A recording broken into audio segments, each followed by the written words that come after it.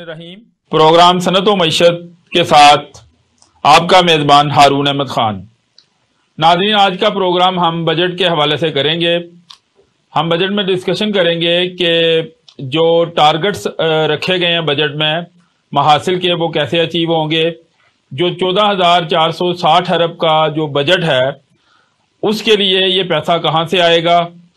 क्या जो कर्जों की मद में रुकूम रखी गई हैं, वो हमारे मुल्क को मिल सकेंगी या नहीं मिल सकेंगी? और जो टैक्स रेवेन्यूज के टारगेट्स रखे हैं, आया वो अचीव होंगे या नहीं होंगे? इन्फ्लेशन के हवाले से और जीडीपी ग्रोथ के हवाले से जो टारगेट रखे हैं, वो अचीव भी होंगे या नहीं होंगे? इसके लिए आज हमने अपने मेहमान, जनाब अता अली मलिक साहब, जो कि फाइनेंशियल एक्सपर्ट हैं, उनको मदू किया है। हम उनके शुक्रगुजार हैं। असलम सर। वालेकुम सलाम जी। अच्छा सर कैसे देख रहे हैं कि चौदह हज़ार चार सौ साठ अरब का बजट है जिसमें ये कह रहे हैं जी बानवे सौ अरब जो है वो रेवेन्यू आएगा। अब उस बानवे सौ अरब में से तकरीबन बावन सौ अरब सूबों को चले जाने हैं पीछे उनतालीस सौ अरब रह जाएगा उनतीस सौ अरब ये नॉन टैक्स ये ये रेवेन्यूज आ जाएँगे तो ये अड़सठ सौ अरब ये बनता है। और ये कह रहे हैं कि हमने बाकी जो है वो दाहरे कर्जों से इकट्ठा करना है अब पैंतीस सौ अरब ये कह रहे हैं कमर्शियल बैंकों से लेना है, पच्चीस सौ अरब जी बाहर से हमें मिलेगा और उन्नीस सौ अरब ये कह रहे हैं कि जी हम अपने जो दूसरे जो जराए हैं, उनसे इकट्ठा करेंगे। तो आईएमएफ ने तो ये बजट मुस्तरद कर दिया है और ऐसा लग रहा है कि ढाई अरब का जो हमारा बकाया रहता है पिछले प्रोग्राम का, वो भी नहीं मिलेगा। और जो अगला प्रोग्राम साढ़े छह अरब का करने ये जा रहे हैं, वो भी नहीं मिलेगा। अगर आईएमएफ आप पे ट्रस्ट नहीं करता तो ज़ाहिर है फिर बाहर से भी इन्वेस्टमेंट नहीं आएगी। तो आप समझते हैं कि ये जो फिगर इन्होंने दी हैं ये जो इन्होंने फाइनेंशियल टारगेट्स रखे हैं ये अचीव हो जाएँगे? अरुण साहब बहुत शुक्रिया। अरुण साहब फ्रैंकली ये बजट जो है ना इसको हमें सीरियस लेना ही नहीं चाहिए। आ, मतलब इसमें ना रेवेन्यू के टारगेट रियलिस्टिक है ना खर्चों के टारगेट रियलिस्टिक है ना कर्जे से रिलेटेड टारगेट रियलिस्टिक है। ये प्राइमरली मुझे लगता है कि ये वो जो क्योंकि इलेक्शन का दौर दौरा है तो बेसिकली बस जाने से पहले एक महीने में एक वो नंबरों की गिमिकरी दिखा के कि हम तो जाते हुए ये सब कुछ कर गए थे। इसमें कोर्स नुकसान सबसे बड़ा ये होगा कि वो जो एक आईएमएफ के प्रोग्राम है जो आपके लिए बहुत क्रिटिकल है आ, वो डिले होगा। आईएमएफ का प्रोग्राम क्रिटिकल होने की वजह से फिर जो हमें कई दोस्त ममालिक सरमाकारी करना चाहते हैं पाकिस्तान में गल्फ के चाइना उनकी भी कंडीशन ये है कि वो चाहते हैं कि इससे पहले कि वो बड़े पैमाने पर सरमाकारी शुरू करें। पाकिस्तान आईएमएफ से सील ऑफ़ अप्रूवल है वो भी मुश्किल नज़र आता है इस बजट के बाद। तो मेरे ख्याल में तो फ्रेंकली मतलब इन नंबर्स पे एज इट इज़ बात जो रेटिंग है हमारी ब्लूमबर्ग की है राइटर की है या बाकी जितने भी मूडीज की है वो भी रेटिंग हमारी जो क्रेडिट रेटिंग है वो नीचे आई है। इसी तरह वज़ीर आज़म ने कहा कि जी हमने नाग रगड़ दी है और वो आपके कान फंसे हुए हैं और वो अभी तक वो आपकी बात नहीं मान रहे। महँगाई का जो है एक आप कहते हैं कि तूफ़ान जो है वो आवाम के ऊपर मुसलत किया गया। बारह परसेंट का आपने टारगेट रखा, पैंतीस अड़तीस परसेंट तक आपने महँगाई कर दी। तबाही फेर दिए ब्याह है, वो बिल्कुल ही तकरीबन अस्सी परसेंट तक नीचे गिरा है। तो अभी अगर आईएमएफ से भी नहीं प्रोग्राम होता और बाहर से भी अगर कोई इन्वेस्टमेंट नहीं आती, जो कि बाहर लग रहा है कि कोई ऐसा ऐसे आसार नहीं है तो ये तो एक महँगाई का एक नया तूफ़ान होगा तो ये डेढ़ दो माह में ये क्या करेंगे? क्योंकि बारह अगस्त को ये हुकूमत खत्म हो रही है, फिर दो माह में इलेक्शन देखें क्या बनता है। कोई नज़र नहीं आ रहा है स्टेबिलिटी की इलेक्शन होगा, नहीं होगा, क्या सूरत हाल है। तो कैसे ये मुल्क कैसे वे फॉरवर्ड कैसे आगे चलेगा? अच्छा सर, इसमें जो है ना, जहाँ तक तो बात है इलेक्शन की तो इस बजट की जो शक्ल है, उससे तो ये लगता है कि इरादा है कि इलेक्शन होगा। होगा। हाँ उसकी वजह ये है कि बजट का मकसद बेसिकली ये है कि आई थिंक आठ अगस्त को या बारह अगस्त को बारह अगस्त को जो है गवर्नमेंट खत्म हो रही है दो माह जो खत्म हो रही है तो मतलब अगस्त के पहले दस बारह दिन के अंदर अंदर असेंबली तहलील हो जाएगी। यानी बेसिकली इस बजट को पेश करने के बाद ये यकम जुलाई से नाफिज अमल होता है। तो इस हुकूमत की ज़िम्मेदारी तो पैंतीस दिन की है। आ, उसके बाद आगे वाले जाने आगे वाले जो कुछ चाहेंगे वो उनके लिए हम आ, अब आगे हो जाएगा। और वो प्राइमरली मेरा ख्याल है कि बजट इस तरह का है इसका मकसद भी यही है कि मतलब दिखा दें कि हमने आ, तो सब कुछ अब के लिए बहुत कुछ कर दिया बहुत रिलीव कर दिया। हाँ, पैंतीस परसेंट जी हमने सोलह तनख्वाहें भी बढ़ा दी हैं हमने पेट्रोल भी सस्ता कर दिया है एलएनजी भी सस्ता कर रहे हैं एलपीजी भी सस्ता कर रहे हैं हम तो सब कुछ ठीक कर रहे हैं कोई नया टैक्स भी नहीं लगाया है सरकारी मुलाजमीन की तनख्वाहें बढ़ा दी है सब कुछ कर दिया है। लेकिन होगा ये कि हमारे पास तो सिर्फ़ पैंतीस दिन है। उसके बाद जो कोई आएगा वो बड़ा कन्वीनियंट सा तरीका होता है कि उस पर फिर आप सारा मुद्दा डाल देंगे कि जी हम तो बड़ा अच्छा छोड़ के गए थे सब कुछ और आने वाले ने इसको केयर टेकर गवर्नमेंट आएगी वहाँ पर मामला खराब होने शुरू होंगे। उसके बाद इलेक्शन आ जाएगा। इलेक्शन के बाद अगर मैंडेट लेके आते हैं तो फिर शायद उस वक्त क्योंकि ताज़ा ताज़ा मैंडेट अच्छा होता वो है। साहब की जो तो- तकरीर मैंने शुरू में सुनी ना तो उन्होंने 2017 से तकरीर का वो किया जी, वो 2017 में 6 परसेंट था और फिर ये ज़ीरो परसेंट पे आ गई। लेकिन इनको जो गवर्नमेंट मिली है तो 6 परसेंट पे था हमारा जीडीपी इन्फ्लेशन जो है, इनको 11 परसेंट पे मिली थी। वो उस 4 परसेंट दो हज़ार सत्रह वाली को रो रहे हैं, लेकिन उस वक्त इंटरनेशनल प्राइसेस जो है, वो 25 से 40 डॉलर थी ऑयल की। तो अभी जब इनको मिली है तो 80 डॉलर थी ऑयल की प्राइसेस वो आगे आगे बढ़ना शुरू हुई 120 तक चली गई। तो जो इन्होंने ऑयल प्राइसेस बढ़ाने में जो आप कह लें कि सुस्ती की या जो काहली की, जो सब्सिडीज आखिरी, जो पिछले साल का जो आखिरी क्वार्टर था, उसमें तकरीबन 900 अरब की सब्सिडी दी। जबकि पहले नौ माह में तकरीबन 600 अरब की सब्सिडी थी। तो इतनी बड़ी सब्सिडी बिल्कुल, आप कह लें कि जो बजट का डेफिसिट है, वो भी बहुत बड़ा चला गया कि अखराजात इन्होंने कहा था पचानवे सौ अरब होंगे, वो साढ़े ग्यारह हज़ार अरब पे जा रहे हैं। कर्जे तकरीबन एक हज़ार अरब रुपए का कर्जा पर मंथ ये लोग ले रहे हैं। तो आगे ये जो हुकूमत आएगी, वो मे बी इनकी आती है या कोई इनके मुहालफिन की आती है, क्योंकि अभी लग रहा है कि इलेक्शन हो जाएँगे। जो अभी तक ये लोग कह रहे हैं कि हो जाएँगे, बजट रख दिया है एडीपीज का और पीएसडीपीज का, कोई 1100 अरब का विफाकी है सूबों का 1600 अरब का है। तो कोई महसूस होता है कि ये कोई दो तीन माह में खर्च कर लेंगे? जैसे परवेज लाई साहब ने खर्च कर दिया हाँ नहीं खर्च तो नहीं होगा लेकिन बेसिकली होगा ये कि फॉर इंस्टेंस उसका एक लार्जर चंक कोशिश करेंगे जल्दी से जल्दी ट्रांसफ़र करें अच्छा मंसूबे दे देंगे और कर उसका दें, वो, काम शाम शुरू हो जाए जो छोटे मंसूबे हैं अगर वो जल्दी खत्म हो जाते हैं तो ज़ाहिर सी बात है वो भी एक प्लस है। कि मतलब आपने फंड रिलीज़ कर दिया दो तीन महीने का पीसी वन उसका इशू कर देंगे सो थोड़े से पैसे इशू कर देंगे तो वो बाइंड वो भी हो जाएगा कुछ कुछ मंसूबे ऐसे भी होंगे फॉर इंस्टेंस मतलब अगर कोई सड़क सड़क है किसी इलाके की और वो सब कुछ है तो वो दो महीने का काम है। तो कोशिश करेंगे कि उसको शुरू करवा दें निगरान हुकूमत के दौर में किसी टाइम पे वो खत्म हो जाए तो मतलब वो भी इनके क्रेडिट पे आ जाएगा। लेकिन वो जो आप पहले बात कर रहे हैं ना वो एक्चुअली ज़्यादा क्रिटिकल बात है वो 2017 वाली। सो एक्चुअली मसला ये हम जहाँ खड़े हैं ये इस हुकूमत समेत पिछली तीन हुकूमतों की ज़िम्मेदारी है। और जब तक हम इस चीज़ को रियलाइज़ नहीं करेंगे कि हमारा यानी कि नवाज़ शरीफ साहब इमरान नवाज़ शरीफ साहब अभी शहबाज शरीफ साहब। शहबाज शरीफ साहब की हुकूमत जो है। सो यानी मुस्लिम मुस्लिम लीग नवाज़ की जो पिछली हुकूमत थी फिर जरदारी साहब को आप थोड़ा सा वो दे रहे हैं। जरदारी साहब की जी दो चीज़ें हैं मतलब दो चीज़ें एक तो ये है कि जरदारी साहब के दौर में हमारे पास ना बैरूनी इमदाद आ रही थी। हाँ जी हाँ, डॉलर उस वक्त आ रहा हाँ, था बैरूनी इमदाद आ रही आप थी। जंग में थे। हाँ जब बैरूनी इमदाद आ रही होती है ना तो उनके सिर्फ़ अच्छा मैं आपको हैरान कन तौर पे बताऊँ मैंने इशारिये भी पढ़े और मैंने वो किया। सरदारी साहब के दौर में हमारी एक्सपोर्ट टू जीडीपी जो है वो चौदह परसेंट थी। बिल्कुल ऐसे ही है। और अभी हम साढ़े आठ परसेंट पे हाँ। सो- सो हमारा- मतलब है हमारा पोटेंशियल जो है जो हमारे साथी इंडिया है और बांग्लादेश है वो है सोलह से अठारह परसेंट। टैक्स टू जीडीपी और एक्सपोर्ट हम टू 2013 में जीडीपी है वो भी उनका सोलह से अठारह परसेंट तकरीबन 2013 में उनके बराबर थे। सो so, एक चीज़ तो है मतलब उसमें पार्ट पार्टली रीजन वो जो हम बात कर रहे हैं कि उस वक्त तक 2011 तक एटलीस्ट आपको बैरूनी इमदाद मिल रही थी। उसके बाद फिर कुछ वाकयात हुए थे वो सामा बिन लादेन वाला और उसके बाद फिर अमरीकियों ने जरा उस दौर सख्ती करनी शुरू कर दी थी। थी वो भी 147 डॉलर टच करके। बिल्कुल ऐसे ही है जी बिल्कुल ऐसे ही है। और दूसरी चीज़ ये है कि हमारी ना इकोनॉमी का जो मतलब आपने वो बात की कि छह परसेंट पर इनको जीडीपी ग्रोथ मिली है। फ्रैंकली जीडीपी ग्रोथ हमारा मसला बहुत ही सेकेंडरी भी नहीं बल्कि टर्चरी मसला है। हमारे मुल्क का सबसे बड़ा मसला जो है वो है करंट अकाउंट करंट अकाउंट जी बिल्कुल। करंट अकाउंट हमारा सबसे बड़ा मसला है जो जी एग्जैक्टली अच्छा हम डेफिसिट कंट्रोल कैसे करते हैं इंपोर्ट को कंट्रोल जी, करके ना exactly कि हम ही है। एक्सपोर्ट को बढ़ाएँ कि एक्सपोर्ट लीड ग्रोथ करें। एग्जैक्टली ऐसे ही है। देखें वो मतलब वही वाली चीज़ है। सो आपका जो फंडामेंटल मसला है वो करंट अकाउंट है। तो वो जो आप वो बात कर रहे हैं वो 2013 वाली गवर्नमेंट की उसको एक क्रेडिट ज़रूर जाता है कि एक्सपोर्ट बढ़ाना। और ओवरऑल वैसे करंट अकाउंट मैनेज करना मतलब वो वो वो ऑलमोस्ट ज़ीरो के करीब वो वो आई थिंक आखिरी हुकूमत थी जिसमें एक पूरे साल में आपका करंट अकाउंट सरप्लस भी रहा था। आ, उसमें रहा है और फिर ये कोविड में कुछ अर्सा रहा क्योंकि वो वो- रिपोर्ट्स वो वो, वो कुछ पीरियड के लिए रहा था कुछ के साल। पूरे के लिए नहीं रहा था। हाँ वो कुछ माह ऐसे हाँ, उसमें बेसिकली एक पूरा फ़िज़िकल ईयर ऐसा था जो आपने करंट अकाउंट सरप्लस में गुजारा था।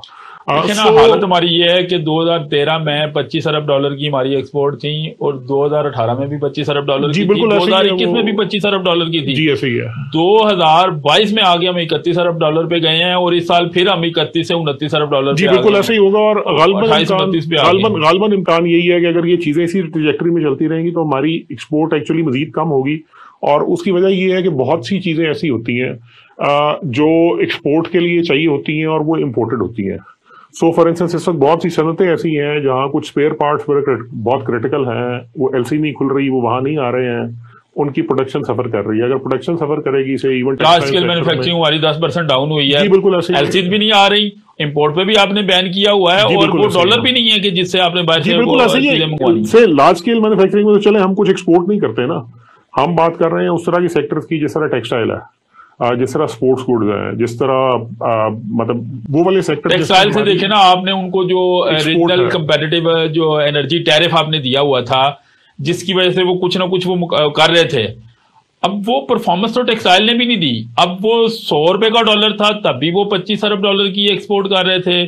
200 के डॉलर पे भी वही कर रहे थे, आज 300 का डॉलर है तो वो वहीं पे खड़े हैं। किया तो उन्होंने कुछ नहीं। उसकी उसकी भी वजह आप मतलब मेरा ख्याल है मुझसे बेहतर समझ सकते हैं। हमारा ना मतलब सो एक तो इशू वो जो हम, वो गवर्नमेंट वाली बात कर रहे हैं कि हमारी जो पिछली तीन हुकूमतें हैं उन्होंने बेसिकली सिर्फ़ जिसको कहते हैं ना आर्टिफिशियल मैयर्स के साथ रौनक लगाने की तौर पे आपने जो है वो वो- अ, अ, उनको रियल स्टेट जो है बिल्कुल, बिल्कुल। अ, रियल स्टेट की जो इन्वेस्टमेंट बोर्ड है ट्रस्ट है उसके थ्रू आपने भी आ गया, सहूलियात दे दी उसके अलावा आप और आपने आर्टिफिशियली जो है वो आपने हीटअप कर दी। लेकिन उसकी वजह से फिर ये होता है कि आपकी इंपोर्ट्स इतनी बढ़ती हैं आपके डॉलर पे इतना प्रेशर आता है कि फिर वो कोलैप्स कर जाते हैं आप जब उसको कंट्रोल करते हैं तो आप आपकी जब छह परसेंट से हम सात, आठ परसेंट पे जाते हैं, छह परसेंट पाँच से ऊपर जाते हैं तो हमारी जो जो एक्सपेंशरी जो पॉलिसी है, वो उल्टा डॉलर का प्रेशर आता है और फिर महँगाई का भी तूफ़ान आता है और कैड में भी हम फंस जाते हैं। और जब नीचे आते हैं तो फिर हमारी ग्रोथ रुक जाती है। तो इसका मतलब ये है कि जब तक हम चार से पाँच पे हम सस्टेन करें और जब तक हमारी एक्सपोर्ट्स नहीं बढ़ती, यानी कि एक्सपोर्ट्स हम बढ़ाएँ, किसी ना किसी तरह जो है, हमारी इंपोर्ट्स कम हो या इम्पोर्ट के ऐसे जो रॉ मटेरियल जो हम इम्पोर्ट कर रहे हैं कोई इस तरह का कोई कल्चर इन यहाँ पे कोई डेवलप हो कि जो लाइक एस एसएमईज पे। लेकिन वो तभी होगा कि जब आप रियल स्टेट को कंट्रोल करेंगे तभी आपकी एसएमईज में पैसा आएगा। आप 21 परसेंट अगर सर दे रहे हैं बैंक में आप प्रॉफिट दे रहे हैं तो कैसे लोग किस काम में 21 परसेंट प्रॉफिट है? मुझे तो नहीं नहीं लेकिन आप एक्चुअली तो माशाल्लाह एक्सपर्ट हैं। नहीं सो 21 परसेंट जो मतलब अगर आपको बैंक दे रहा है तो 21 परसेंट बैंक के डिपॉजिट का मतलब ये है कि जो अगर आप इन्फ्लेशन के हिसाब से देखें तो मैं 8 परसेंट लूज कर रहा हूँ साल का। ऐसा ही है। ठीक है? सो so, वो 21 परसेंट मेरे अपने ख्याल में 21 परसेंट का रेट जो है इसको भी ऊपर जाना चाहिए। स्टेट बैंक इटसेल्फ एक मसला है इस वक्त। नहीं आप तो कह रहे हैं कि अगर इन्फ्लेशन पैंतीस परसेंट है तो पैंतीस परसेंट जाए। हाँ, नहीं नहीं और मैं आपको थोड़ा सा पीछे ले जाऊँगा। आ, 2008 में भी पूरी दुनिया में एक फाइनेंशियल क्राइसिस आया हुआ था और हाँ बिल्कुल और और और पाकिस्तान के अंदर भी इशू ये था कि आपके वो शौकत शौकत शौकत अज़ीज़ साहब ने जो यूरो बॉन्ड इशू किए थे उनकी पेमेंट ड्यू थी आईएमएफ का प्रोग्राम रीनिगोशिएट होना था वो सब कुछ होना था। उस वक्त एक जो बड़ी अच्छी चीज़ की गई थी, वो ये की गई थी कि स्टेट बैंक ने और गवर्नमेंट ने बहुत जल्दी जल्दी वो मैयर लिए थे। शौकत तरीन साहब जब बनाए गए थे वज़ीर खजाना तो बहुत जल्दी जल्दी वो मैयर लिए थे कि दो तीन महीने के अंदर अंदर मार्केट को जितने झटके लगने से लग गए थे। और उसके बाद सबको ये तसली हो गई थी कि अब हम वहाँ पहुँच गए हैं जहाँ से आगे सिर्फ़ इसका मतलब ये जो हम सियासत करते हैं मसनू तौर पे डॉलर को रोक के रखते हैं फिर एकदम से हम साठ अस्सी रुपए बढ़ा देते हैं। इसी तरह जो हम और इस तरह के जो मसनू मैयर्स लेते हैं जिसकी वजह से जो है वो कॉन्ट्रैक्ट कर जाती है और बाद में फिर हम फंस जाते हैं। तो उन्होंने ये है कि वो प्राइसेस अगर ऑयल प्राइसेस ऊपर जा रही है तो बढ़ा दी या वो तीन तीन महीने के अंदर अंदर आपको याद होगा बिजली की कीमत भी बढ़ गई थी गैस की कीमत भी बढ़ गई थी पेट्रोल भी ठीक ठाक बढ़ा था। इंटरेस्ट रेट उस वक्त कुछ अरसे के लिए उन्होंने मतलब अगर मैं 13% तक चला गया था। अ, नहीं आई थिंक इससे ऊपर गया था। चौदह या पंद्रह परसेंट तक गया था। अ, वो भी चढ़ा दिया था। आईएमएफ के प्रोग्राम साइन कर दिया था। जो आईएमएफ की कंडीशंस थी वो मान के इम्प्लीमेंट कर दी थी। अच्छी चीज़ ये थी हुकूमत नहीं नहीं आई हुई थी तो उसके ऊपर इल्ज़ाम भी मतलब वो एक तरह से वो थोड़ा सा ये भी कह सकते थे कि जी हमें ये मजबूरन पड़ा। ऑपोजिशन बहुत टाइट थी। वो अपोजिशन बहुत टाइट थी लेकिन उन्होंने कहा कि जी हमने ये कर दिया है। और, और उसके बाद आपको याद वो भी मेजोरिटी गवर्नमेंट नहीं थी बल्कि एक वक्त ऐसा था कि हाँ। उनके पास कौमी असम्बली में अक्सरियत भी उन्होंने खो दी जब वो उनके पास कोई वोट ऑफ़ नो कॉन्फिडेंस नहीं आया। फिर उन्होंने काफ जी, लीग के साथ उनकी परवेज लाई साहब को डिप्टी वजी आज़म लिया और वो ही खैर जरदारी साहब हैं वो चला गए थे हुकूमत। जो बेसिकली बुक है किसी भी गवर्नमेंट के लिए वो किसी भी क्राइसिस में वो आई थिंक वो पहले तीन चार महीने जो जुलाई से लेके और अक्टूबर नवंबर तक जो 2008 वाली हुकूमत थी क्राइसिस के लिए मेरा ख्याल है वो एक बहुत अच्छी टेक्स्ट बुक है अब पीएमएलएन जब 2013 में आई थी इसको एक्चुअली बहुत अच्छी इकोनॉमी मिली थी। सवाए एक बिजली के बहरान के करंट अकाउंट तकरीबन ज़ीरो था।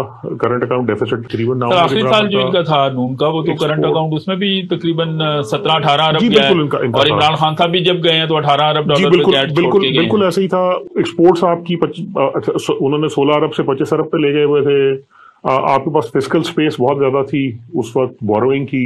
उसको बजाय इसके कि वो मैनेज करते हैं, वही दोबारा कि मतलब हमने सब्सिडीज देनी है और सब्सिडीज भी हमारी प्राइमरली जो होती है ना वो तो सियासत के साथ जब हम इकोनॉमी को मुंसलिक करते हैं और सियासी फ़ायदे के लिए जब हम एक इकोनॉमिक डिसीजंस करते हैं तो देन फिर हम फंस जाते हैं। आप सब्सिडीज को देख लें या जो है वो जिस तरह डॉलर को मसनू तौर पर रोका हुआ था, पहले भी और अभी भी सागदार साहब ने जो किया तो इसका मतलब है कि हम वही एक्सपेरिमेंट बार बार रिपीट कर रहे हैं। अच्छा मेरा ख्याल वैसे फ्रैंकली मतलब मेरा ख्याल है कि आप ना सियासत से टोटली तो अलग नहीं कर सकते बिकॉज़ अल्टीमेटली आपको लोगों को सियासी मुफादात में कह लें वो, आप वो हो गया लेकिन उसमें अब आप अब आप ना एक चीज़ पे गौर करें। आईएमएफ ने इस बजट पे जो क्रिटिसिज्म किया है उसका सबसे स्ट्रांग नुकता ये है कि बेनजीर इनकम सपोर्ट की रकम कम कर दी है आपने।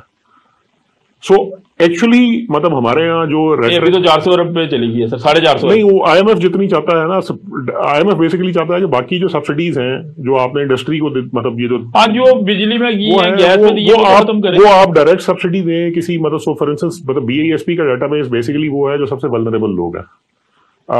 अगर आप सबसे वल्नरेबल लोगों को एडिशनल सब्सिडी दे दें और उसके बदले में मतलब बड़ी सीधी सी बात है कि एक चार कनाल का घर जो मतलब लाहौर के किसी हाई एंड इलाके में है उसको बिजली की सब्सिडी देने के कोई तुक नहीं बनती है। तो आ, तो मिल भी नहीं रही ना? नहीं उसको मिल रही है ना एक्चुअली मतलब प्राइमरली मल्टीपल चीज़ों की वजह से मिल रही है। सो फॉर इंस्टेंस जब आप तेल की कीमत आईएमएफ के साथ जो कमिटमेंट है उसके साथ नहीं बढ़ा रहे आप अपने रेवेन्यू टारगेट्स के लिए आपने कहा कि हम लेवी लगाएँगे। और वो लेवी लगाना वगैरह भी बेसिकली आईएमएफ की डिमांड इसलिए होती है क्योंकि आप कहते हैं हम टैक्स बढ़ाएँगे। वो कहते हैं अच्छा कैसे बढ़ाएँगे? उसका आसान से तरी, तरीका ये होता है कि हम बिजली की कीमत बढ़ा देंगे हम पेट्रोल के ऊपर एक्स्ट्रा टैक्स लगा देंगे एक्सेट्रा एक्सेट्रा अच्छा उसमें अब एक इशू ये है कि आईएमएफ इनसे ये नहीं डिमांड करता। आईएमएफ इनसे ये डिमांड करता है कि जी आपने अपना डेफिसिट टारगेट ये रखना है। उसका अच्छा तरीका ये है कि हुकूमत के खर्चे कम किए जाए हमारे ना एक बहुत फंडामेंटल प्रॉब्लम जो हम बात कर रहे हैं कि अच्छा ये जो अखराज है ना हुकूमत के इस पर हम बात को आगे लेकर चलते हैं। मेरे पास अभी वक्फे का टाइम हुआ है। वक्फे के बाद हम यहीं से बात शुरू करते हैं।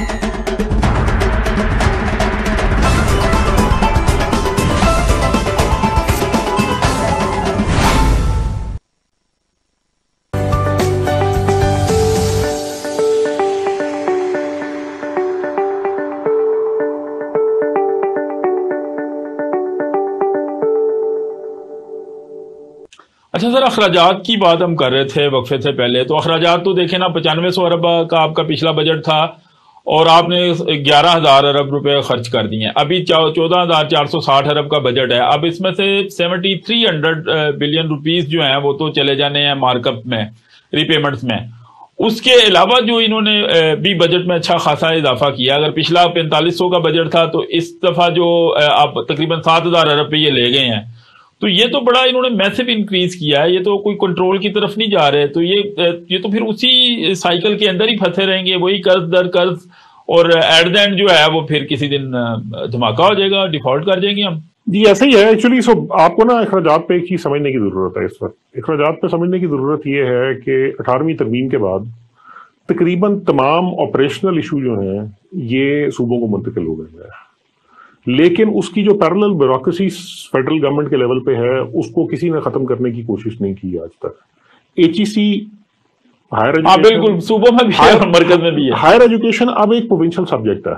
ऐसा ही हायर एजुकेशन अब फेडरल सब्जेक्ट नहीं है लेकिन हायर एजुकेशन डिपार्टमेंट का जो हायर एजुकेशन कमीशन है उसका बजट उसका साइज़ उसको कम करने की तरफ़ मतलब ये दो हज़ार कम किया इन्होंने थोड़ा सा और इस साल फिर बढ़ा दिया डबल कर दिया बयालीस अरब से बयासी अरब। जी लेकिन अगर नॉलेज इकोनॉमी पे खर्च हो तो सर पीएचडीज आए और एक, एक, लेकिन लेकिन एक चीज़ है और चीज़ ये है कि जो यूनिवर्सिटियाँ हैं वो तो सूबों के पास है। वहाँ तो आप सिर्फ़ लोगों की तनख्वाहें दे रहे हैं। दो एक यूनिवर्सिटी आपके पास कायद तीन यूनिवर्सिटीज हैं। कायदम नस्ट और और नस्ट का भी इंतजामी इख्तियार जो है वो हाँ। दिफाई अफवाज के पास है और अलामा इकबाल ओपन यूनिवर्सिटी है यूनिवर्सिटीज आपकी जो मिनिस्ट्री ऑफ़ प्रोडक्शन के तहत है लाइक दाऊद इंजीनियरिंग कॉलेज है नेशनल यूनिवर्सिटी है। लेकिन वो मतलब सो प्राइमरली इशू ये है कि पहले एचईसी का बजट जो था उसकी जो ब्यूरोक्रेसी थी वो पूरे पाकिस्तान की यूनिवर्सिटियों को मैनेज करने के लिए थी। अब उसके पास पूरे पाकिस्तान की यूनिवर्सिटियाँ नहीं है। तीन यूनिवर्सिटी तीन या चार यूनिवर्सिटियाँ उसके लिए वही ब्यूरोक्रेसी का साइज़ वही गाड़ियाँ वही फ्यूल वही बिल्डिंग तो इसका मतलब डिसीज़न मेकिंग में बहुत बड़ी आ, नहीं एक्चुअली जी मैं बताता हूँ उसका क्या एक चीज़ जो थी जो इंडिया ने कर ली थी और हम नहीं कर सके और जो मेरा ख्याल है कि बहुत ज़्यादा फंडामेंटल इशू है और स्पेशली अठारहवीं तमीम के बाद आ जाएगा। आ, वो ये है कि हमारे यहाँ जो जिसको हम फेडरल ब्यूरोक्रेसी कहते हैं अब वक्त आ गया है कि हम इनको कहें कि जी, आप किसी सूबे की ब्यूरोक्रेसी में ऑप्ट आउट कर जाए फेडरल गवर्नमेंट को इस चीज़ का हिसाब किताब करना चाहिए कि हमें इतनी ब्यूरोक्रेसी की ज़रूरत है क्योंकि अब हमारे अमूर सिर्फ़ इतने रह गए अब देखें ना एग्रीकल्चर जो है ये सूबों को इन्होंने मुंतकिल कर दिया है। लेकिन जो मिनिस्ट्री फ़ूड सिक्योरिटी है वो ऊपर वो मिनिस्ट्री रखी हुई है। फ़ूड सिक्योरिटी तो इसका मतलब है कि जो सूबे हैं जिनको आपने मुंतकिल किए हैं मिनरल्स आपने उधर मुंतकिल कर दी है एग्रीकल्चर आपने मुंतकिल कर दी इरीगेशन हेल्थ कर दी कुछ और चीज़ें आपने कर दी सब कुछ कर अच्छा, दी परफॉर्मेंस वो भी नहीं दे रहे ना सर ना तो कुछ टैक्स रेवेन्यू वो अपना बढ़ा रहे हैं ना वो आर एन डी कर रहे हैं हैं। जहाँ तक सूबों की बात है ना उसमें दो चीज़ें हैं मतलब अगेन और वो मेरा ख्याल है कि थोड़ा सा मतलब वो अगर आप कहें तो हम थोड़ा सा उसमें तफसील से बात भी कर सकते हैं कि अठारहवीं तरमीम की वजह से जो रेवेन्यू के इश्यूज़ आ रहे हैं उसके लिए दो तीन चीज़ें कौन सी हैं जो नहीं हुई होनी चाहिए। सबसे पहली चीज़ तो ये है कि अब सेंट्रलाइज ब्यूरोक्रेसी जो है मतलब अगर किसी पुलिस ऑफिसर ने सर्विस पंजाब गवर्नमेंट की करनी है तो उसको फेडरल पूल में नहीं होना चाहिए। ये सूबे के साथ भी जाती है कि वो फेडरल पे स्ट्रक्चर के ऊपर तनख्वाह दे रहा है उसको सूबे ने खुद अपने हिसाब से फैसला करना है कि मैं इसको इतना दे सकता हूँ, इतना नहीं दे सकता। हो सकता है ज़्यादा दे दे। ठीक है तो उसको एक तो वो टाइप जो है, वो खत्म करने की ज़रूरत है, जिस तरह इंडिया में हुआ है। इंडिया में नॉर्मली जब जो आईएएस होता है इसके पूल में से एक सर्टन पोर्शन होता है और कुछ महकमे होते हैं। फॉर इंस्टेंस फॉरन अफेयर है, ये हंड्रेड परसेंट फेडरल महकमा है। दूसरी एडमिनिस्ट्रेटिव इशूज के लिए कुछ जरूरतें होती हैं। अदरवाइज़ ब्यूरोक्रेट से कहा जाता है कि जी, आप ऑप्ट करें स्टेट कौन सी है। मोस्टली वो होम स्टेट होती है बट कुछ केसेस में वो पार भी होती है। और उसकी सारी सर्विस बेसिकली उसी स्टेट में जाती है। ये जो मतलब जो जो फेडरली कंट्रोल्ड ब्यूरोक्रेसी है हमारे तो यूनिट्स भी सर उसी तरह बढ़े रहे हैं ना। उनका पंजाब जो है वो चार फर्दर यूनिट्स लुधियाना में और पंजाब में महाराष्ट्र। और साथ उनका फेडरली जी जी बिल्कुल। दिल्ली जी बिल्कुल और हमारा पंजाब अभी वहीं का वहीं बिल्कुल ऐसे ही है लेकिन मेरा पॉइंट ये है कि जो पंजाब है उसको तो पहले मतलब उसकी तरफ़ तो निकाल देना। मतलब एक आपने जो जिन फेडरल लेवल पे पाला हुआ है उसको उठा के एटलीस्ट पंजाब से सरहद बलोचिस्तान में तो मतलब अच्छा ये जितनी पार्टीज़ है ना इन्होंने अपनी पार्टी स्ट्रक्चर में पंजाब को तीन तीन और चार चार में तकसीम किया है सेंट्रल में ईस्ट में तो ये मतलब इस चीज़ को ये क्यों नहीं देखते मेरा ख्याल है कि वही वाली चीज़ है इवेंचुअली मतलब किसी स्टेज पे शायद ये हो ही जाएगा। वो इशू फिर दोबारा वही है कि मतलब वो उसके लिए वो राइट पॉलिटिकल मोमेंट की ज़रूरत है। मतलब बिकॉज़ अगर आप वैसे देखें तो सवाए I think Pakistan Muslim League Nawaz के आ, बाकी जितनी भी पार्टियाँ हैं वो सब यही कहती हैं कि जी जो जनूबी पंजाब के इलाके हैं उनको फ़िलहाल एक अलग सूबा बनाना चाहिए। नून लीग कहती है कि जनूबी पंजाब भी बन जाए और साथ भावलपुर भी नहीं नहीं वो नून लीग एक्चुअली मेरा ख्याल है भावलपुर इसलिए कहती है क्योंकि भावलपुर वो बेसिकली मतलब वो ना जब आपकी किसी चीज़ की विल नहीं होती तो आपने को बहाना भी बनाना होता। सो so, मेरा ख्याल है कि वो भावलपुर वाला मामला जो वो हिस्टोरिकली भी क्योंकि वो नून लीग का है वो राय जी रहा तो है लेकिन एक्चुअली मेरा ख्याल है कि सो सो आपको समझ लेकिन अब तो मेरा ख्याल है कि जो सूरत हाल है बजाय ये कि आप जो डेवोल्यूशन करें ऑफ़ पावर्स लोकल गवर्नमेंट की तरफ़ जानी चाहिए आपने सुबह को दिया तो सुबह ने वो आगे मुंतकिल नहीं किया। लोकल गवर्नमेंट कोई मुकामी हुकूमतों का सिस्टम नहीं है। पंजाब में तो बिल्कुल नहीं है जी। एक्चुअली ये, ये जो मुशरफ साहब ने दिया था वो भी ये वो तो खत्म हो गया लेकिन actually so so for instance अगर इस वक्त सिचुएशन ये है आपकी मतलब लोकल गवर्नमेंट के हिसाब से कि सिंध इस वक्त वो वाहिद सूबा है जहाँ जिस भी फॉर्म में लेकिन लोकल गवर्नमेंट्स का इलेक्शन प्रोसेस पूरा हो के हुकूमतें कायम कर दी गई है। केपी में भी हो केपी में हो चुका है। KP पावर नहीं दी। पावर पावर इसलिए नहीं दी क्योंकि केपी के अंदर जो और वो अगेन ब्यूरोक्रेसी फिर दोबारा। उन्होंने जो हाउस का कस्टोडियन है उसकी अपॉइंटमेंट का के एसओपीज को रोका हुआ है। बन चुके हैं और उसकी वजह से खत्म कर दी। हाँ जी और उसकी वजह से वो तहसील मेयर लेके आए हैं। तहसील मेयर जो है वो टीएमए को टीएमए अप्रूव करेगा उसका टाउन बिल्कुल जो बिल्कुल ऐसे ही है। सो सो इस वक्त हो ये रहा है कि वो तो उसको तो एक रुपए का अभी तक बजट नहीं मिला पूरे उसकी, उसकी, उसकी वजह है जी उसकी वजह ये है कि टीएमए की अपॉइंटमेंट तो हो गई भी है।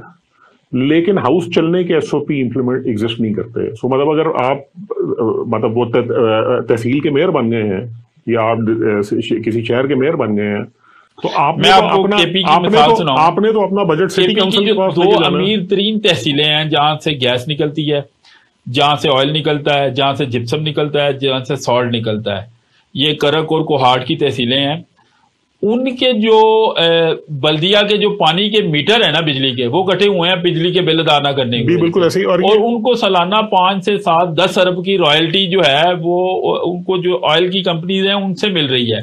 उसके मतलब बल्दियाती केपी- निज़ाम की ये सूरत हाल है। के, केपी गवर्नमेंट को मिल रही है लेकिन वही वाली बात है जिनके इलाकाई हुकूमतों को वो ट्रांसफ़र नहीं की जा तो रही है उनके तो पानी कटे हुए तो हैं। जो उस वजह से ये मसले हैं। सो एक तो ये वाली आप आप वाली बात सही है। सो पहली चीज़ तो आपको ये करने की ज़रूरत है कि जो फेडरल गवर्नमेंट के लेवल पे आपकी एक्सेस ब्यूरोक्रेसी है आपको फाटा जो है ना उसके सेवन मर्ज डिस्ट्रिक्ट से और उसके तीस हज़ार मुलाजिम थे। अभी जो फाटा एरिया है उसके जो मुलाजमीन है वो अस्सी हज़ार तक पहुँच गए हैं। एक रुपए का टैक्स रेवेन्यू नहीं बढ़ा। अब फेडरल गवर्नमेंट कहती है कि तुमने पचास हज़ार मुलाजमी तो भर्ती कर ली हैं तो उनके लिए वसाइल भी तो अपनी तरफ़ से पैदा करो। टोबैको में ज़ाहिर टोबैको वो एक सूबाई वो है तो उसमें टैक्स चोरी हो रही है, वो कोई कंट्रोल उनका कोई नज़र नहीं आ रहा। फिर जो स्मगलिंग हो रही है, उस पर भी कोई कंट्रोल नहीं है। जो डॉलर हमारा फ्लोट कर रहा है एक तो वैसे स्मगल हो रहा है दूसरा जो ट्रांजिट ट्रेड की वजह से भी जो है, वो बहुत सारी पेमेंट्स तो डायरेक्ट अफ़गानिस्तान जाती हैं और फिर डॉलर पे, फिर उसी तरह वो प्रेशर आ जाता है। तो इसके कोई मैयर नहीं लिए, कोई गवर्नेंस कोई ऐसा नहीं लग रहा कि कोई ये ठीक करेंगे। देखें जी, इसका तो मैयर बड़ा सीधा सा है, और बड़ा सीधा सा ये है कि आप फ्री मार्केट को काम करने डॉलर के केस में।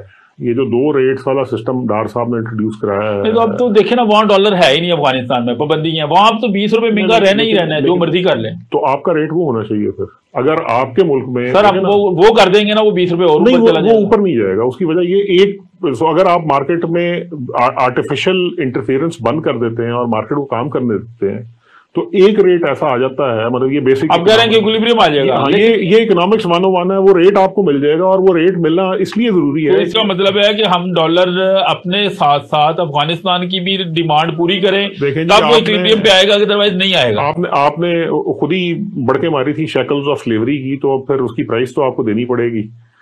तो मतलब तो लग रहा है वैसे आपको कि आईएमएफ का हमें प्रोग्राम मिल जाएगा या नहीं मिलेगा तो काम चल जाएगा? इस इस बजट के बाद इस बजट जिस तरह का ये बजट है इसके होते हुए तो उसके कोई चांस नहीं नहीं मिलेगा। मतलब इस, इस तो ये जो हमने आईएमएफ के कहने पे जो है स्टेट बैंक को खुद मुख्तारी जो हमने दी थी और हम ज़ाहिर है पहले तो नोट कुछ ना कुछ छाप लेते थे। वो भी ज़ाहिर है उसकी वजह से भी इन्फ्लेशन तो आती थी। लेकिन अभी जो हम कमर्शियल बैंकों से हम ले रहे हैं और उनको 20 परसेंट तक तो आप और पे भी कर रहे हैं आप उनको तो जितना को बैंक कमा रहे हैं और पाकिस्तान की गवर्नमेंट से कमा रहे हैं तो क्या कोई ये कोई रिवर्सल आप समझते हैं उसका हर? अच्छा मेरा क्योंकि या तो बैंक जो है वो गवर्नमेंट से वो मार्कअप लेके कमा रहा है तो या जो बैंक है उधार आवाम का पैसा ही पड़ा बैंक का कौन सा अच्छा उसमें या जो वो एक्सचेंज रेट की वजह से वो कमा रहा है और इतना कमा रहा है कि वो हाँ, अब अब ये दोनों चीज़ें अगर आप मुझे इजाज़त दें तो मैं इनका जी, जी, आप पहले मैं आपको एक्सचेंज रेट का जवाब दे देता हूँ। एक्सचेंज रेट के केस में जी एक बड़ा सीधा सा इशू है। मैं बहुत मतलब जिसको कहते हैं ना खुले तरीके से ये कहूँगा। कि स्टेट बैंक की सरपरस्ती में बैंकों को फॉरेक्स रेट पे बगैर कंपटीशन के मुनाफा कमाने का मौका दिया जा रहा है। ये रियासत की पॉलिसी है स्टेट बैंक की पॉलिसी है। और बेसिकली कंज्यूमर सफ़र कर रहा है। मतलब इसकी छोटी सी मिसाल मैं आपको ये दूँगा कि छह महीने के अरसे के लिए तो ये भी हुआ था कि अगर मेरी बैंक की तरफ़ कोई लायबिलिटी है तो मैं ओपन मार्केट के रेट पे दूँगा मतलब क्रेडिट कार्ड का बिल भी मेरा जो था वो ओपन मार्केट के रेट पे आ रहा था दस दिन पहले आईएमएफ के कहने पे उसको बदला गया और अगर बैंक ने मेरे पैसे देने हैं अब मेरा पैसा बाहर से आ रहा है तो हाँ, मुझे वो उस बैंक मुझे मिल रहा है। उस है पे मुझे दो सौ अस्सी रुपए मिल रहे हैं और जो मेरा क्रेडिट कार्ड का बिल था वो तीन सौ दस रुपए के हिसाब से चार्ज हो रहा है हाँ। सो एक तो ये चीज़ है जो बेसिकली कंज्यूमर को फ्लीस करने की अपॉर्चुनिटी स्टेट बैंक ने खुद दी हुई थी बैंकों को ठीक है? सो ये तो बेसिकली एक चीज़ आ गई आपकी जो वो मतलब फॉरेक्स के अंदर जो बैंक्स कर रहे हैं। अच्छा अब दूसरी चीज़ आ गई वो अ, अ, जो कर्ज लेने वाली चीज़ है। अब कर्ज लेने वाली चीज़ का मसला ये है कि जो हुकूमत होती है ना अ, उसको कर्ज देना अ, मतलब नॉर्मली सबसे ज़्यादा प्रेफरेंशियल चीज़ है बिकॉज़ उसका रिस्क सबसे कम है। वो हुकूमत पाकिस्तान है। फ्री कर्जा है। ठीक है जी? हाँ, वो वो हुकूमत पाकिस्तान है तो उसका रिस्क नहीं है। तो जो भी होगा मतलब वो स्टेट बैंक से ले या कमर्शियल बैंक से ले कर्ज तकरीबन उसको उसी रेट पे मिलेगा जो स्टेट बैंक ने डिस्काउंट रेट सेट किया। अच्छा अगर पॉलिसी तो- रेट जो है हम्म। मतलब फ़र्ज़ करते हैं एक इसको फ़ौरन हम गिरा के दस परसेंट करते हैं। हम्म। तो एटलीस्ट जो हम कमर्शियल बैंकों को सूद दे रहे हैं वो तो आधा रह जाएगा। आ, नहीं लेकिन वो आप इसलिए नहीं कर सकेंगे क्योंकि उसके बाद सबसे पहली चीज़ ये होगी कि आपका डॉलर जो है वो जहाँ सौ पे पे इस वक्त है वो उससे भी बहुत ऊपर निकल जाएगा। आ, उसकी वजह यह है कि लोग अपना सरमाया पाकिस्तान से बड़ी तेज़ी के साथ बाहर निकालना शुरू कर देंगे। सो रजा बाकर साहब जब आए थे तो उसके बाद से पाकिस्तान तो बैंकों से भी तो सरमाया निकल के कारोबार में आएगा फिर। आ, अच्छा बैंकों से सरमाया ऑलरेडी इस वक्त इशू ये है कि क्योंकि इन्फ्लेशन बहुत ज़्यादा है तो जो इंटरेस्ट रेट हाइक होती है इसका बुनियादी मकसद ये होता है कि जो basically unjust allocation of capital हुई हुई है कुछ सेक्टर्स में उसको किसी ना किसी तरह निचोड़ा जाए। और अच्छा मैं आपको ना एक मिसाल देता हूँ। मुझे आप थोड़ा सा बताइएगा उसमें। मेरे एक दोस्त हैं उन्होंने अपनी आधी इन्वेस्टमेंट बैंक में रखी है और आधी इन्वेस्टमेंट उन्होंने स्टॉक में की है। रात को समझते हैं और इसके बावजूद वो कहते हैं यार पंद्रह परसेंट मैंने लॉस कर दिया है स्टॉक में से। तो उधर से मुझे जो है वो तकरीबन कोई बीस परसेंट मिल जाता है। तो पाँच के परसेंट पे कहता मैं क्योंकि क्योंकि कहता यार वो डॉलर नीचे गिरा है तो वो लॉस मेरा अलग है। हाँ जी क्योंकि बेसिकली चक्कर ये है कि इस वक्त हम एक डिप्रेशन साइकिल में है इकोनॉमिकली डिप्रेशन साइकिल में नॉर्मली हमेशा डेट इंस्ट्रूमेंट जो है वो इक्विटी इंस्ट्रूमेंट को आउट परफॉर्म करता। है सो uh, so उस वजह से मतलब जब वो लोन तो इन हालात में ये जो इन्होंने दस परसेंट का सर टैक्स लगा दिया बोनस शेयर पे जो एक बचने का टैक्स से बचने का तरीका था कि डिविडेंड पे आपने पंद्रह परसेंट लगाया हुआ है तो बोनस शेयर पे टैक्स नहीं था। अब बोनस शेयर पे भी टेन परसेंट का जो टैक्स है क्या वो शेयर काटेंगे उनसे या उसका वो किस तरह वो टैक्स है? और आया इससे को कारोबार कारोबारी अ, सरगर्मियाँ सो- बढ़ेंगी या कम सो होंगी? सो पहली चीज़ तो पाकिस्तान में ना स्टॉक मार्केट का और कारोबार का बहुत ही थोड़ा ताल्लुक है। उसकी वजह है कि आपकी जो बेसिकली स्टॉक मार्केट की टोटल मार्केट वैल्यूएशन है वो बहुत थोड़ा सो अगर हम अमेरिका की बात करें तो अमेरिका में आ, को तकरीबन साठ सत्तर फ़ीसद से ज़्यादा जो इकोनॉमी है वो लिस्टेड इकोनॉमी है। हमारे यहाँ ये बमुश्किल दस परसेंट बल्कि मेरा ख्याल है अभी तो चालीस खरब की रह गई है हाँ जो कि सौ खरब तक चली गई थी या सो दस परसेंट मतलब जब बहुत रूज पे भी आती है तो दस एक परसेंट के आसपास आपकी इकोनॉमी का स्टॉक मार्केट रिप्रेजेंट करता है। सो पहली चीज़ तो ये होगी। दूसरी चीज़ ये है कि डायरेक्ट बिज़नेस का stock market so stock market की इस चीज़ का इशारिया तो होता है कि कारोबार कैसे हो रहा है बट स्टॉक मार्केट के अंदर जो कुछ हो रहा है उसका बहुत ज़्यादा असर कारोबार पर नहीं पड़ता। सो uh, so, उसकी वजह यह है कि कंपनी ने शेयर तो लॉन्च कर दिए थे अब तो अच्छा शेयर कंपनी पैसा कमा रही है इसके बावजूद बाद शेयर जो है वो डाउन हो रहा था और कंपनी लॉस कर रही है कोई दो तीन परसेंट का प्रॉफिट है और शेयर जो है उसको ऊपर जा रहा उसमें है। उसमें जी मतलब उसमें अगेन मल्टीपल फैक्टर आते हैं मतलब बाज़ात होता है कि कुछ सो फॉर इंस्टेंस कुछ मुनाफे ऐसे हैं जो अच्छे नहीं होंगे। मसलन अगर आपका से आपने एक कारोबार शुरू किया हुआ है और आप चार गाड़ियाँ ऊबर की चला रहे हैं और आपने उसमें से एक गाड़ी बेच दी है और उसका गेन आपकी स्टेटमेंट में रिफ्लेक्ट हुआ है तो वो कोई अच्छा गेन अच्छा नहीं ये है। जो शेल का और बरशान एनर्जी बी का और इसी तरह एक कंट्रोवर्सी चल रही है कि होंडा ने पिछले तीन माह हम्म। से गाड़ियाँ नहीं बेची। तो आया उनके पास ऑलरेडी इतने ऑर्डर्स हैं कोई वो नए ऑर्डर्स नहीं ले रहे या वो कोई जो उनके एसकेडीज आती हैं बाहर से उसकी वजह से वो लोग अगर हम होंडा के केस में बात करें तो होंडा के केस में दो तीन चीज़ें हैं मेरा ख्याल है। सो एक तो ये कि सिविक की उम्र कल मैं देख कल या परसों देख रहा था अच्छा, कि सिविक की की तीन महीने में कोई सेल नहीं हुई पाकिस्तान हाँ, हाँ। अच्छा अब उसमें दो ए, एक तो फैक्टर ऑफ़ कोर्स गाड़ियों में ये है कि क्योंकि इनका तकरीबन आइटम्स हैं वो बाहर से आती हैं और यहाँ सिर्फ़ असेंबली अच्छी बात है नहीं बिक रही फिर तो। हमारी इकोनॉमी के लिए। एक्चुअली एक्चुअली हाँ हमें ना बेसिकली उस इकोनॉमी के लिए मेरा डॉलर जाता है बाहर। हमें- हमें और वो गरीबी उसको पेमेंट करता हमें है। हमें अपनी ऑटो इंडस्ट्री को बड़ा सीरियसली रीथिंक करने की ज़रूरत है बिकॉज़ मतलब आज तक आपने एक गाड़ी भी एक्सपोर्ट नहीं की। और 50-60 साल से ये एक प्रोटेक्टेड इंडस्ट्री है। सो इस चीज़ की बहुत ज़्यादा ज़रूरत है कि इस चीज़ को रीथिंक किया जाए। मेरा तो ख्याल है गाड़ियों की इम्पोर्ट खोल देनी चाहिए हर एक के लिए। और इसी तरीके से ये कंपेटिटिव होंगे। इनमें से जो कंपेटिटिव नहीं हो सकेंगे, वो साफ़ हो जाएँगे। लेकिन जो ये सिस्टम है कि जहाँ पर हम इनको प्रोटेक्ट भी कर रहे हैं और ये वो सत्तर परसेंट पैंसठ परसेंट इक्विपमेंट बाहर से इंपोर्ट करते हैं इनका वैल्यू एडिशन ना होने के बराबर है। और उसके बाद भी सब कुछ लोकली बेच रहे हैं। मतलब सो बेसिकली फॉर इंस्टेंस और गाड़ियाँ महँगी भी हैं। सो so, अगर मतलब फॉर इंस्टेंस आप मतलब सुजुकी का कोई एक मॉडल अगर इंडिया के साथ हम कंपैरिजन हाँ, करें तो सुजुकी का सुजुकी का एक मॉडल उठा लें और यहाँ से को 20-25 किलोमीटर दूर अमृतसर में उसी की कीमत देखें और उसको पाकिस्तानी रुपए में बल्कि उनका जो हमारा सेवन जनरेशन चल रहा है उनकी एट नाइन्थ जनरेशन की गाड़ी हमारे से सस्ती होती है। वो क्वालिटी भी बेहतर होगी और हमसे को तकरीबन पच्चीस तीस परसेंट सस्ती भी होगी। सो पच्चीस तीस परसेंट सस्ती का मतलब ये है कि जो इंडिया की गाड़ी की प्राइस है उतना तो हम इक्विपमेंट मंगवा रहे हैं इम्पोर्ट में। यानी अगर वो गाड़ी यहाँ इम्पोर्ट हो तो हमें उतने ही डॉलर देने पड़ेंगे। और मसला हल हो जाएगा। सो so, ऐसी इंडस्ट्रीज़ जहाँ पे प्रोटेक्शनिज्म एग्जिस्ट करता है लेकिन वो प्रोटेक्शनिज्म प्राइमरली किसी भी प्रोडक्टिविटी या एक्सपोर्ट की तरफ़ नहीं जा रहा वहाँ से तो सब्सिडीज फॉरन और प्रोटेक्शन फॉरन विड्रॉ करनी चाहिए सो so, एक तो सब्सिडीज को हम टारगेटेड करें और जो ऐसी सब्सिडीज हैं जिससे अमीर को फ़ायदा हो रहा है अशाफिया को फ़ायदा हो रहा है उसको कंट्रोल करें। और दूसरा जो ये सर्कुलर डेप्ट है गवर्नेंस के लेवल पे ये चीज़ें हैं। इसकी ये रिकवरी करें तो एटलीस्ट जो बैंकों से इनको पैसे लेने पड़ रहे हैं, वो तो कुछ कुछ ना कुछ कंट्रोल होगा। हाँ जी होगा उसमें भी एक्चुअली इशू वही वाला है कि हमें हमारी जो एनर्जी पॉलिसी है बहुत नीजक है। वो तो हर तीन साल बाद हम बदल देते और वो बहुत नीजक है मतलब वो बेसिकली होता ही है कि फॉर इंस्टेंस आपको याद होगा कि पहले फर्नस ऑयल पे थी फिर हम कोल की तरफ़ आए फिर हम सोलर की तरफ़ अच्छा, हल्का सा गए आपने फिर हम हाइड्रल की तरफ़ आए अब फिर हम सोलर की तरफ़ जा रहे हैं रिन्यूएबल की तरफ़। आपने मसले की निशानदेही कर दी है। आपका एनर्जी जो है वो किसी एक सोर्स पे डिपेंडेंट हो ही नहीं सकती है।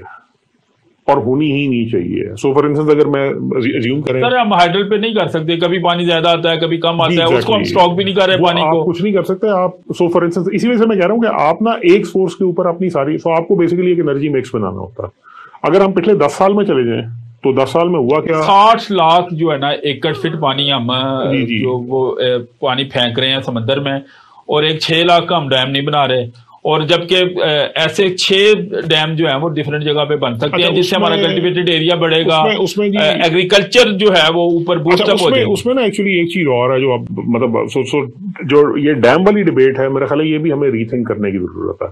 और वो इसलिए रीथिंक करने की ज़रूरत है कि जो वेदर वोलेटिलिटी है जहाँ पर सो फॉर इंस्टेंस मैं आपको एक मिसाल देता हूँ 2014 से लेके और 2023 तक कोई एक साल भी आई थिंक ऐसा नहीं आया है जब तरबेला और मंगला को आप पूरा भर चुके हो जो आपकी एग्जिस्टिंग रेजरवायर है।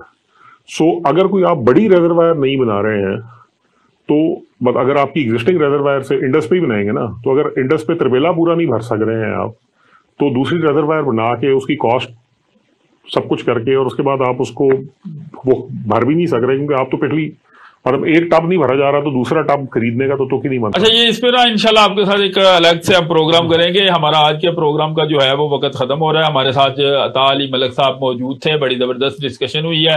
बात वही है कि जी सब्सिडीज उस एरिया में हम दें जहाँ पे उसकी ज़रूरत है। जो उमरा को और एक खास एरिया में हम सब्सिडीज दे रहे हैं उनका कोई फ़ायदा नहीं है। गाड़ियों में आप जिस तरह के इन्होंने बात की है कि उसकी इंपोर्ट पे जो जो एस के डीज उसके आ रहे हैं, जितनी ये महँगी गाड़ी है, उसके हवाले से बात हुई है। और फाइनेंशियल जो डिसिप्लिन के हवाले से जो बात हुई है, कि किस तरह हम जो है अपने अखराज को कम करें बजट के जो जो एलोकेशन ऑफ़ बजट है, जो एरिया ऑफ़ एलोकेशन है, उसको हम कंट्रोल करें एडीपीज और पीएसडीपीज में जो बहुत ज़्यादा पैसे रखे हुए हैं। और इसको अपने सियासी मुफाद या सियासी रिश्वत पे इस्तेमाल करने की बजाय हमारे प्रोजेक्ट जो हैं, वो ऐसे हों कि जिनके लॉन्ग टर्म जो है, वो मुल्क को फ़ायदा हो।